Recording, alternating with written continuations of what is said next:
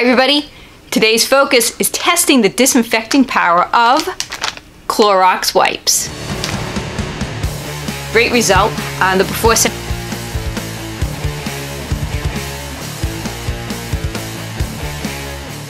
Today's video is a viewer request. We had a bunch of people request Clorox wipes, including Olivia McCaster, Tiele, RJF, Fate Wine Roses, Searra Alizabeth. As always, I like to make sure I know how the manufacturer wants me to use their product for proper disinfection, and it's pretty easy with Clorox wipes. They just want you to wipe the surface and use enough wipes so that the surface remains visibly wet for four minutes. So for those of you who haven't watched my videos before to see how I do my disinfecting testing, what I do is I take a petri dish just like this guy and I label it A, B, and C. What I'll do is I'll swab an area that I want to test in my home and put that in the B for before section and then I'll clean it according to manufacturer's guidelines, swab it again, put it in A for after, C is our control, I don't put anything here. So today I'm going to test some areas in my bathroom and my kitchen. Let's get started and see how well Clorox wipes disinfects.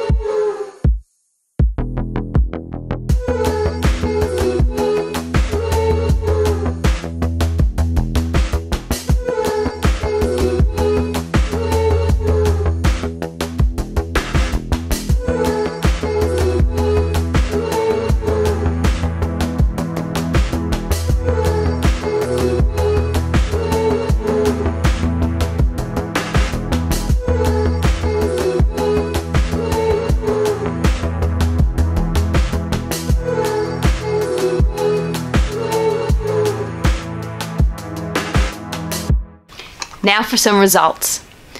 The bathroom sink.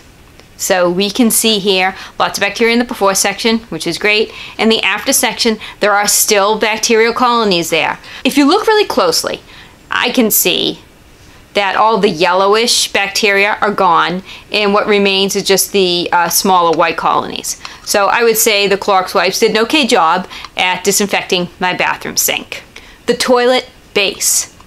Okay, so we can see here the before section has a lot of bacteria. That is a large smearing of bacteria. In the after section, we still do have bacteria. It is decreased significantly, but there is still some bacteria there. So again, I would say the Clorox wipes did an okay job at disinfecting my toilet base. The kitchen counter. This is a great one. So we can see the before section, tons of bacteria there. That's a lot of bacteria. And in the after section, we have zero, nothing. There's no bacteria there at all. I mean, I'm trying to look very closely on the dish here and I see nothing. So I would say the Clorox wipes do a fantastic and excellent job at disinfecting my kitchen counter. The kitchen sink, the base.